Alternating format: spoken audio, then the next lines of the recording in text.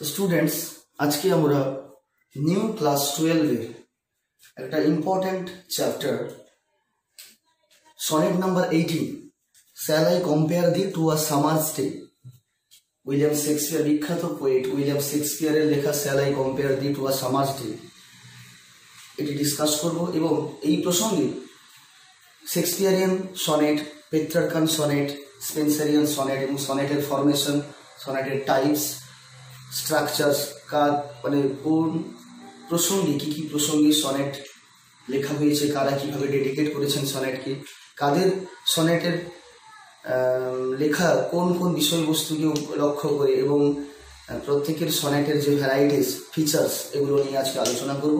তারপরেই যাব। Shall I compare thee to a summer's day এই চ্যাপ্টারটি ডিসকাস করার জন্য। তো প্রথমে আমরা দেখে নিই সনেটের সম্বন্ধে কিছু ডিসকাস সনেট। এই পপুলার পোয়েটিক ফর্মটি কিন্তু ডিটেলে জানতে হবে। প্রত্যেক কবি,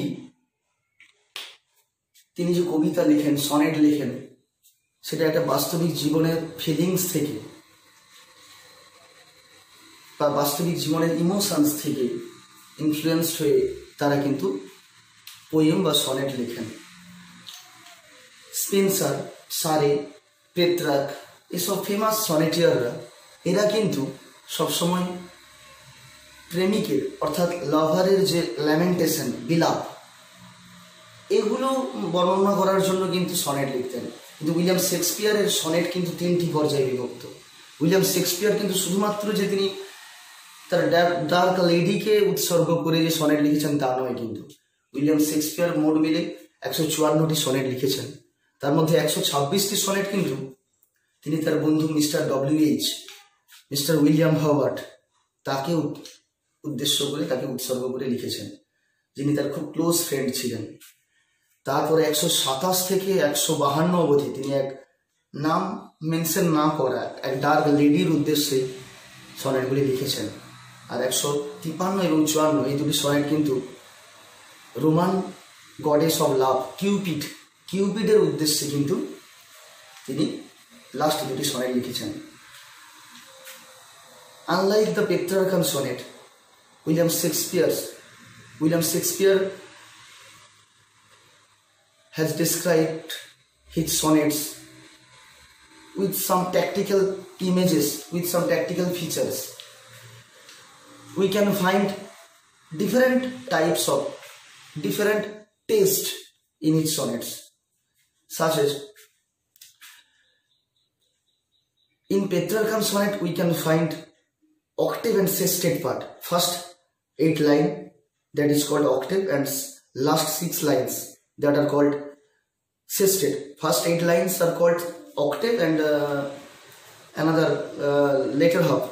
The other uh, other six lines are called sestet. But in Shakespearean sonnet, Shakespeare has divided his sonnet into three parts. Four actually four parts.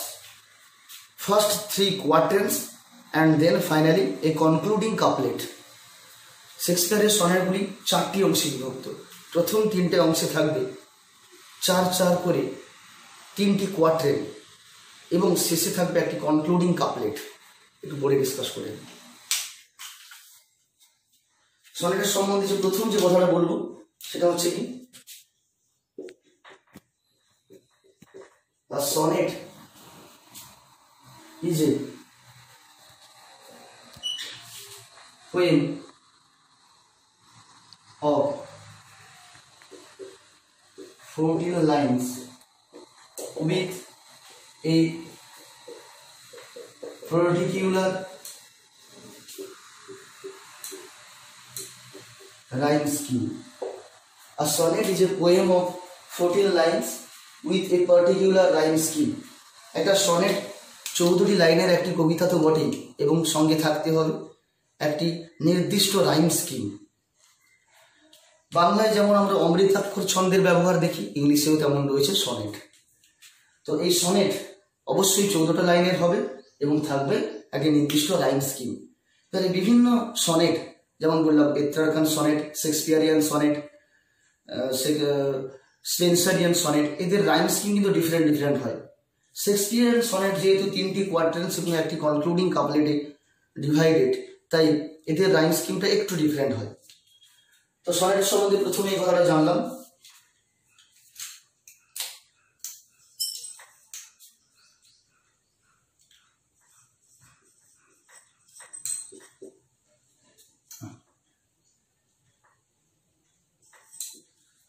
Sonnets है many varieties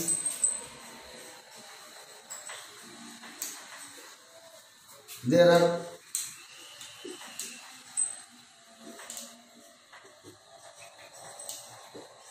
Italian और Petrarchan sonnet Spenserian sonnet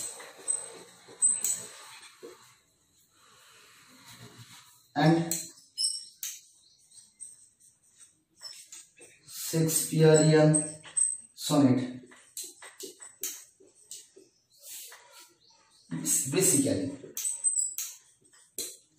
এই প্রসঙ্গে বলে রাখি পেট্রারকান sonnet কিন্তু মূলত Italian sonnet নামে পরিচিত এবং স্পেন্সারিয়ান সনেট শেক্সপিয়ারিয়ান সনেট এগুলো কিন্তু ইংলিশ সনেট নামে পরিচিত। তো প্রথমে আমরা জানলাম সনেট চৌধুরী লাইনের একটি কবিতা, যেখানে একটা পার্টিকুলার লাইন স্কিম থাকে। তারপরে দেখছি যে sonnets many varieties sonnets have many varieties বা sonnets are of many varieties এটা বলতে পারে। Sonnets are of many varieties sonnets are of many varieties Italian sonnet বা Petrarchan sonnet Spenserian sonnet Shakespearean sonnet sonnets of Surrey সারের sonnet তো বিভিন্ন জন কিন্তু বিভিন্নভাবে সনেট লিখেছেন। তো উইলিয়াম শেক্সপিয়ারের সনেট অর্থাৎ শেক্সপিয়ারের সনেট সম্বন্ধে একটু আমি ফিচার্স আলোচনা করছি।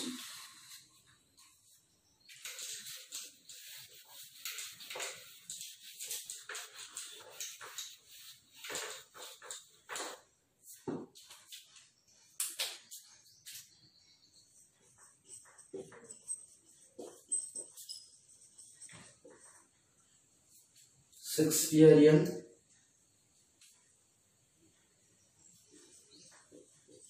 সনেট উইলিয়াম শেক্সপিয়ার মিলে কিন্তু ওয়ান ফর্টি ফোর একশো চুয়ান্নটি সনেট লিখেছেন। এর মধ্যে এই একশো চুয়ান্নটি সনেটকে তিনি তিনটি পর্যায়ে ভাগ করেছেন।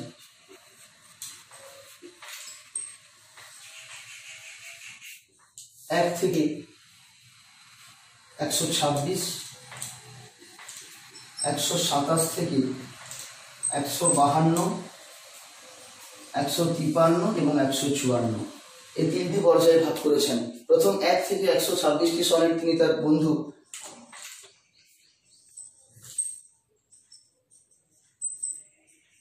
তিনি তার বন্ধু।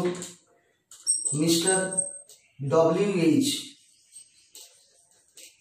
William Howard Mister W H অর্থাৎ উইলিয়াম হাওয়ার্ডকে ডেডিকেট করেছেন। একশো সাতাশ থেকে একশো বাহান্ন।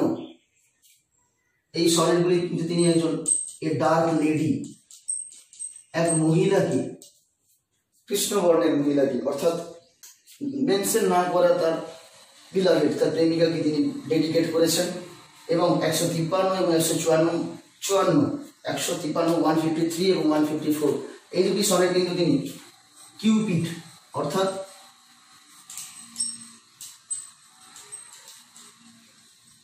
Roman goddess of love.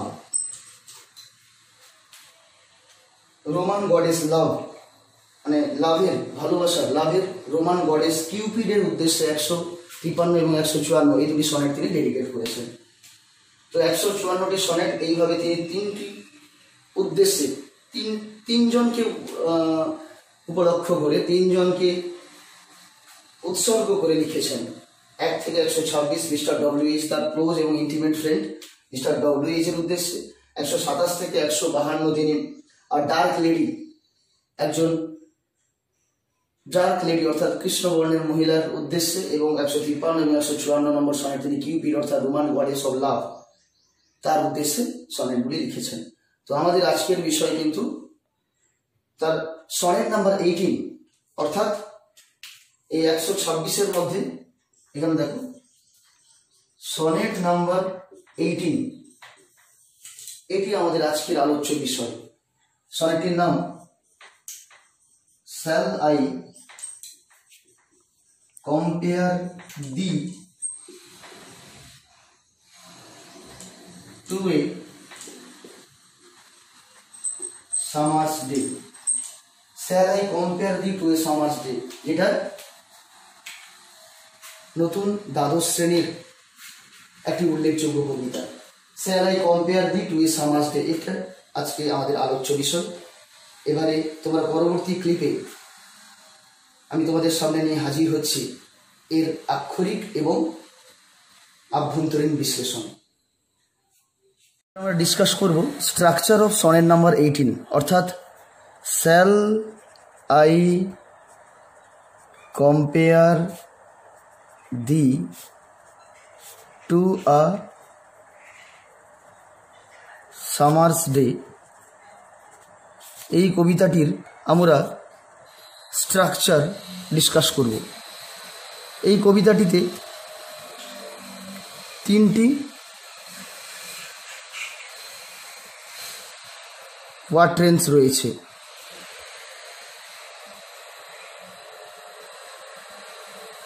ওয়াট্রেন্স রয়েছে।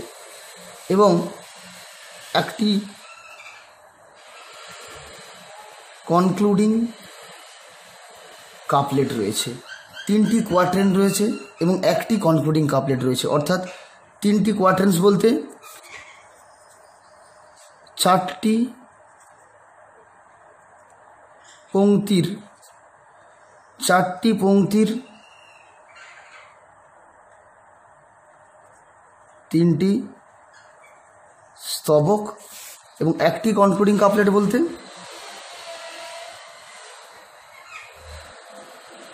শেষে দুটি পংক্তি বা এক জোড়া পংক্তি। অর্থাৎ চার চার চার এবং শেষে দুই। এই হচ্ছে সনেট নাম্বার এইটিনের পোয়েটিক্যাল স্ট্রাকচার সনে, সনেটের স্ট্রাকচার প্রথম তিনটি রয়েছে চারটি পংক্তির স্তবক। প্রথমে রয়েছে তিনটি স্তবক, চারটি পংক্তি করে এবং শেষে রয়েছে একটি কনক্লুডিং কাপলেট অর্থাৎ দুই পংক্তি বা এক জোড়া পংক্তির একটা অন্তিম অংশ। তো সরের number eighteen obviously Mister W H অর্থাৎ উইলিয়াম হার্বার্টকে ডেডিকেট করে লেখা হয়েছে, যেখানে কবি বলতে চেয়েছেন, তার অত্যন্ত কাছের বন্ধু, অত্যন্ত প্রিয় বন্ধু উইলিয়াম হার্বার্টের যে বিউটি যে সৌন্দর্য, সেটা ইমোটাল সেটা অমর। যে কোনো প্রাকৃতিক সৌন্দর্যের কাছে কবির বন্ধুর সৌন্দর্য অধিকতর স্থায়ী, অধিকতর দীর্ঘ।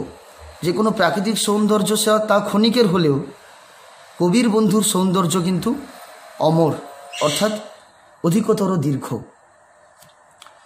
তো এবার আমরা এবার আমরা লাইন বাই লাইন আমরা ডিসকাস করব। তার আগে আর একটা ছোট্ট জিনিস আলোচনা করে নেওয়া উচিত। এই কবিতার রাইম স্কিম তোমরা অবশ্যই বুঝতে পারছ, তিনটি কোয়াট্রেন্স এবং একটি কনক্লুডিং কাপলেট থাকা মানে রাইম স্কিমটা এভাবেই হবে। A B A B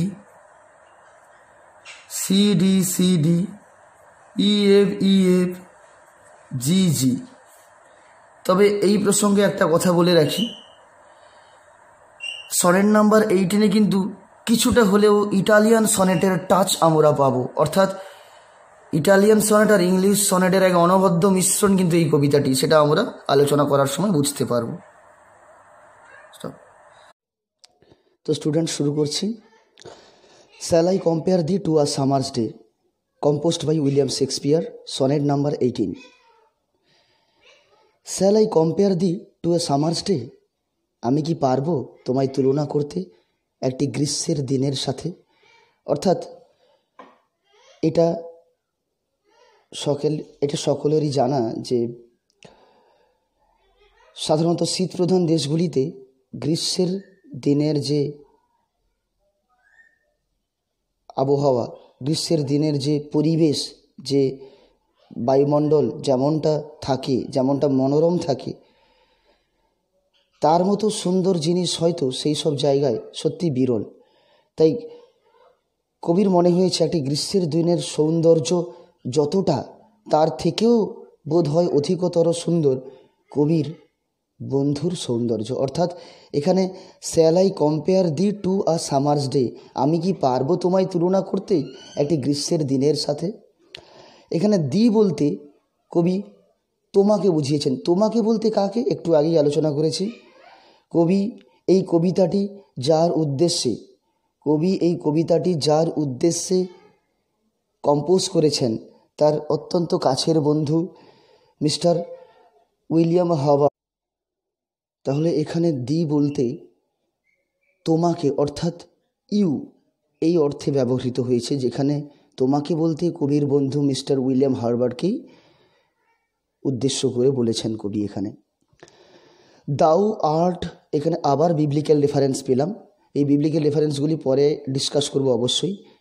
যেমন দি বলতে তোমাকে, ঠিক তেমনি দাউ বলতে তুমি, ইউ আর্ট বলতে আর, এগুলো পোয়েটিক্যাল ইউজ বা বিবলিক্যাল রেফারেন্সেস বর্তমান যে মডার্ন ইংলিশে যেগুলো খুবই কম ব্যবহার করা হয়, শুধুমাত্র কবিতায় কিন্তু পোয়েটিক্যাল ইউজ হিসেবে ব্যবহার করা হয়। দি বলতে তোমাকে, দাউ বলতে ইউ, তুমি, আর্ট বলতে আর। অর্থাৎ দাউ আর্ট বলতে তুমি হও, মোর লাভলি, অধিকতর সুন্দর অ্যান্ড মোর টেম্পারেট অধিকতর উষ্ণ। অর্থাৎ একটি গ্রীষ্মের দিনের উষ্ণতা যতটুকু, তার থেকেও তোমার উষ্ণতা অধিকতর। একটি গ্রীষ্মের দিনের সৌন্দর্য যতটুকু, তার থেকেও তোমার সৌন্দর্য অধিকতর। কবি এখানে তার বন্ধুর সৌন্দর্যকে অন্যান্য যে কোনো প্রাকৃতিক জিনিসের থেকে অধিকতর সুন্দর বললে বিবেচনা করেছেন।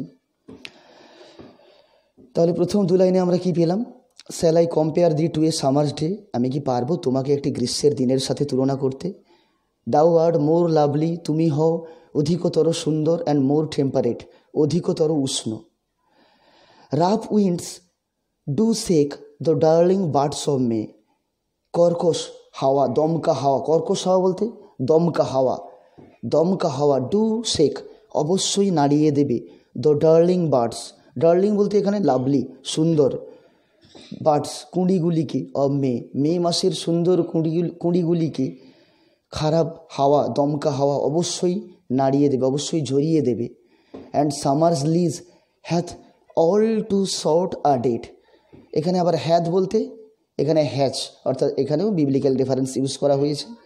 অ্যান্ড সামার্স লিজ গ্রীষ্মের অবকাশ has all too short a date খুবই ছোট, যেটা একটি গোটা দিন হিসেবে গণ্য করা যায় না। গ্রীষ্মের অবকাশ একটা গোটা দিনের থেকেও ছোট। মানে গ্রীষ্মকালটা এতটাই সংক্ষিপ্ত শীতপ্রধান দেশগুলিতে যেগুলোকে সম্পূর্ণ দিন হিসেবে ভাবা যায় না। খুব অল্প সময় গ্রীষ্মকালের দিনগুলি থাকে এবং খুব তাড়াতাড়ি যেন অতিবাহিত হয়ে যায়। তাই কবি মনে করেছেন, গ্রীষ্মের দিনের যে এই সৌন্দর্যটা, এই যে pleasure of summer's days pleasure having in summer's days গ্রীষ্মের দিনগুলিতে যে আমরা প্লেজারগুলো পাই, যে আনন্দগুলো পাই, সেগুলো এবং সেই সময়ে যে প্রাকৃতিক যে বাতাবরণ থাকে প্রাকৃতিক যে সৌন্দর্য থাকে, সেগুলি কিন্তু খুবই ক্ষণস্থায়ী। এই দুটি পঙ্ক্তির মাধ্যমে কবি বলতে চেয়েছেন, প্রকৃতির প্রত্যেকটা জিনিস আজকে হয়তো সুন্দর, কাল হয়তো তা না থাকতে পারে, অনিশ্চয়তা আছে প্রত্যেকটা জিনিসেই, কিন্তু তোমার সৌন্দর্য চিরকালের। Sometime too hot the eye of heaven shines কোনো কোনো সময় স্বর্গের চক্ষু, এখানে একটি অলঙ্কার ব্যবহার করা হয়েছে। দি আই অফ হেভেন পেরিফেসিসের উদাহরণ এটি। অর্থাৎ এর মাধ্যমে কবি সূর্যকেই বোঝাতে চেয়েছেন। এখানে একটি অলঙ্কার ব্যবহার করেছেন কবি। দি আই অফ হেভেন বলতে দ্য সানকে কবি বুঝিয়েছেন। Sometime too hot the eye of heaven shines কোনো কোনো সময় অত্যন্ত উষ্ণভাবে অত্যন্ত উত্তপ্তভাবে সূর্য কিরণ দেয়। And often is is gold complexion dimmed আবার কোনো কোনো সময় সেই সূর্যকিরণ সেই সূর্যকিরণ, সেই উজ্জ্বল সূর্যকিরণ, তার সেই সোনালি আভা কখনো কখনো ফিকে হয়ে যায়, কখনো কখনো আবছা হয়ে যায়। কি কারণে? অবশ্যই যখন আকাশ মেঘে পরিপূর্ণ হয়ে যায়, তখন কিন্তু সূর্যের সোনালি রশ্মি আর তার প্রখরতা নিয়ে আসতে পারে না, তা আবছা হয়ে যায়। And every fair from fair প্রত্যেকটি সুন্দর থেকে সুন্দরতর জিনিস সামটাইম কোনো কোনো সময় ডেকলাইন্স ধ্বংস হয়ে যাবে, নষ্ট হয়ে যাবে। বাই চান্স সেটা হঠাৎ করে হতে পারে অর নেচারস চেঞ্জিং কোর্স কিংবা প্রকৃতির বিবর্তনশীল স্বভাবের কারণে আনট্রিমড যেটাকে কোনো মতেই ছাঁট ছেঁটে ফেলা যায় না, কোনো মতেই বাদ দেওয়া যায় না, প্রকৃতি সদা পরিবর্তনশীল। তাকে আমাদের পক্ষে তাকে বেঁধে রাখা, তাকে একটি বাঁধনে রাখা সম্ভব নয়। তাই সেই পরিবর্তনশীল প্রকৃতির যে নিয়ম, সেই নিয়মের অনুসারে বা হঠাৎ করেই কোনো কোনো সময় সুন্দর থেকে সুন্দরতর জিনিসগুলো কিন্তু এক সময় নষ্ট হয়ে যাবে। বাট কিন্তু দায়ী ইটারনাল সামার, দায়ী বলতে তোমার ইয়োর ইটার্নাল সামার, তোমার এই শাশ্বত গ্রীষ্ম, অর্থাৎ কবির ইটারনাল, কবির বন্ধুর ইটারনাল বিউটি। কবির বন্ধুর শাশ্বত সৌন্দর্যকেই এখানে ইঙ্গিত করা হয়েছে। বাট দায়ী ইটারনাল সামার, তোমার সেই শাশ্বত গ্রীষ্ম শ্যাল নট ফেট কখনোই আবছা হবে না, কখনোই ফিকে হয়ে যাবে না। Nor lose he nor lose possession of that fair the ow'st কিংবা কখনোই সেই সৌন্দর্য যেটা তুমি ওস্ট বলতে এখানে ওন্ড অধিকার করে আছো। ওন মানে অধিকার করা ওন্ড অধিকার করে আছো।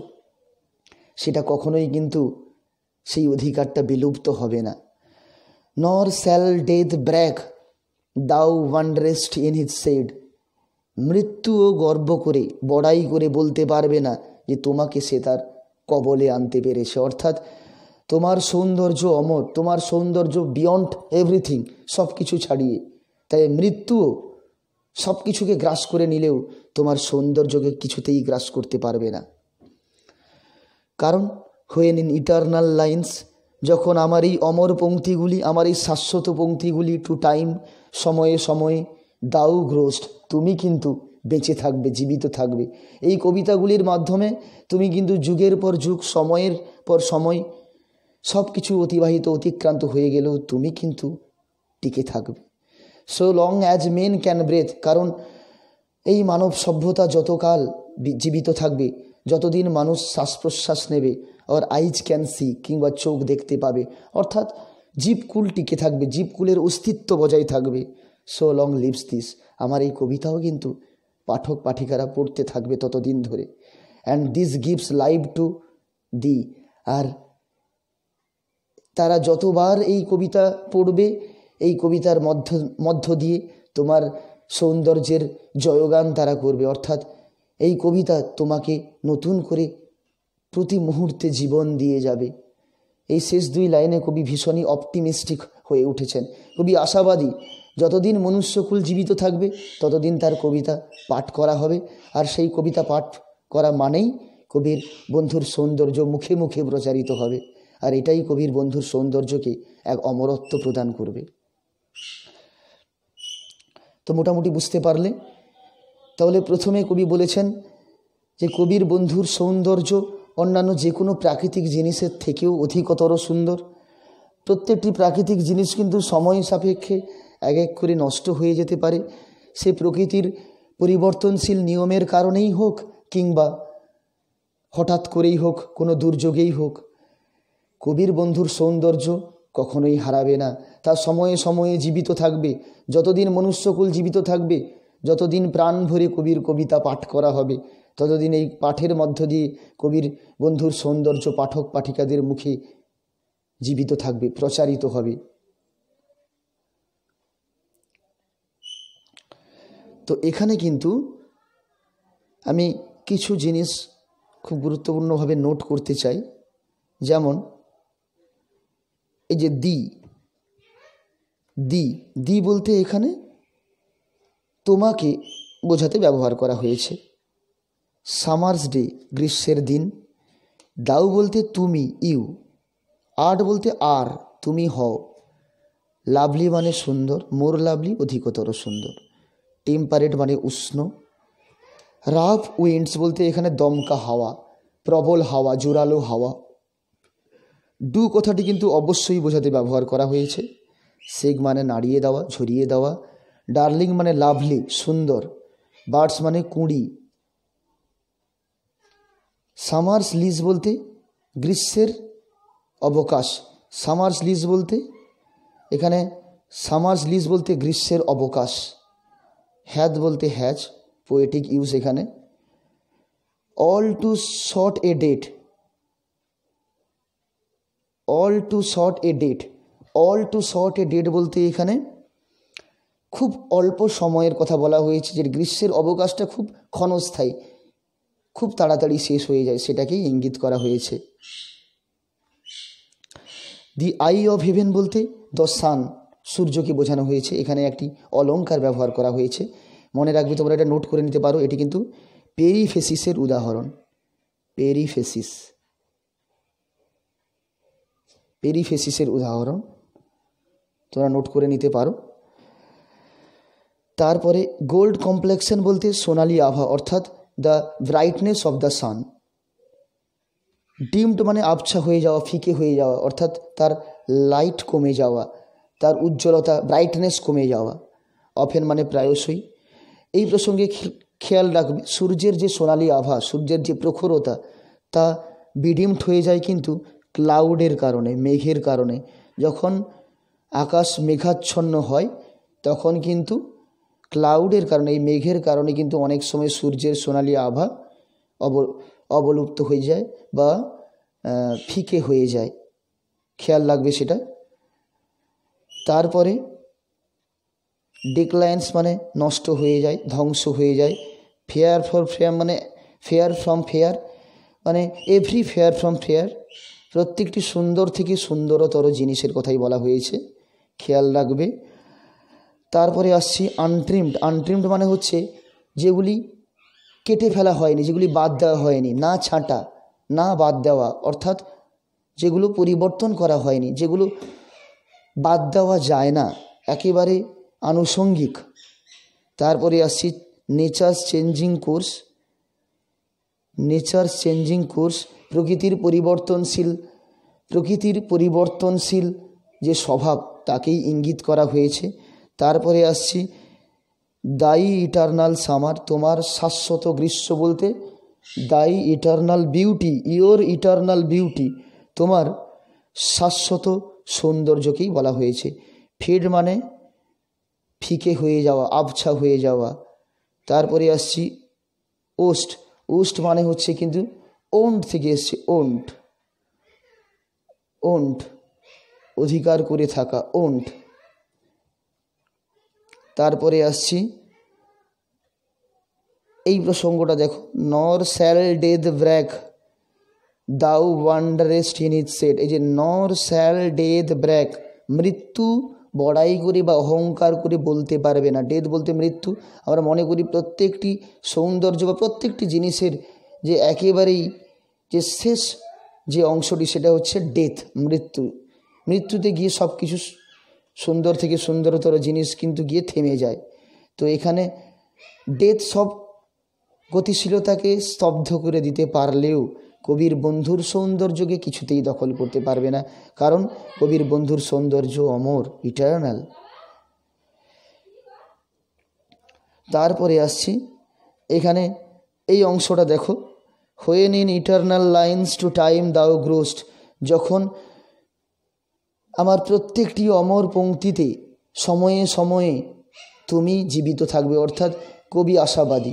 কবি ভেবেছেন, তার এই পঙ্ক্তিগুলি অমর হবে, অর্থাৎ পাঠক, পাঠিকারা চিরকালই পছন্দ করবে, পড়বে এবং যত যত সময় ধরে, যত জেনারেশন আফটার জেনারেশন তার কবিতা পড়া হবে কবির বন্ধুর সৌন্দর্য তারা মুখে মুখে প্রচার করবে। আর কবির বন্ধুর সৌন্দর্য জীবিত থাকবে। কবির বন্ধু জীবিত থাকবেন, তার সৌন্দর্য জীবিত থাকবে সেই পাঠের মধ্য দিয়ে। তাই কবি শেষ এই কনক্লুডিং কাপলেটে তিনি বলেছেন সো লং অ্যাজ মেন অর্থাৎ এই মানব সভ্যতা যতদিন টিকে থাকবে, এই মানব সভ্যতার অস্তিত্ব যতদিন বজায় থাকবে, অর্থাৎ মানুষ যতদিন শ্বাস প্রশ্বাস নেবে, ততদিন কিন্তু চোখ ততদিন কিন্তু তার কবিতা পাঠ করা হবে।